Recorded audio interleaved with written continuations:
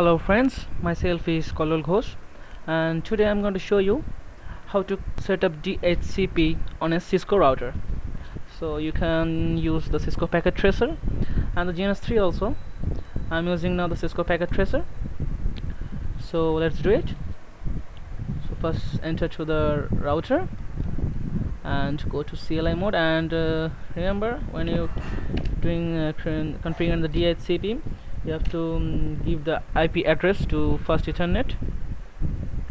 So first enable and go to configuration mode. Configure terminal.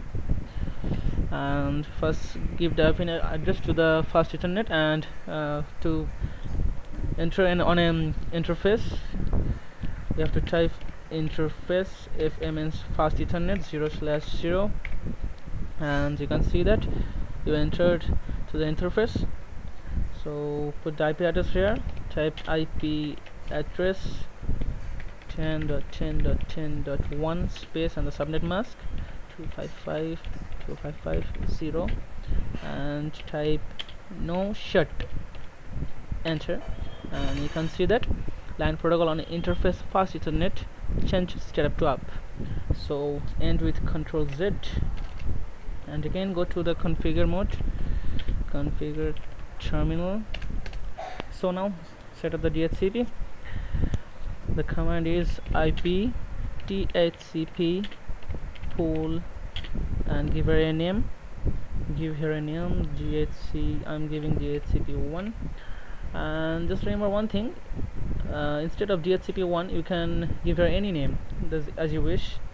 I'm using DHCP1 and hit enter and give here the network of fast ethernet like 10.10.10.0 and the subnet mask 255.255.255.0 and give the default gateway. Here default router means the default gateway and default gateway is the IP of the fast ethernet 0 slash 0 so 10.10.10.1 enter and with control Z. And again go to the configure terminal mode. And you have to exclude the IPs that you uh, wouldn't give to the uh, computers. So type IP DHCP excluded address. That means you can uh, give here put there the IPs that you do not want to uh, put on the computers. So starting IP is 10.10.10.1 and this is first give the start IP and space and give her the last IP where I want to end. Uh, I am ending on 4 so the 10.10.10.1 to 10.10.10.4 IP will be not given to the computers.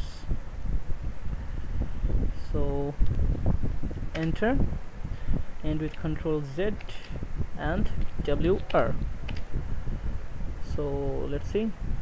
Go to the computers and configuration and DHCP DHCP request successful. You can see here the IP is given dot 5 you can see that and default gateway 10.10.10.1 so let's do it in this IP 6 and let's do it again. And that one.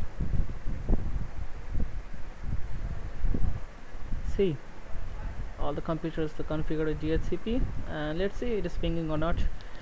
So ping 10.10.10.6 you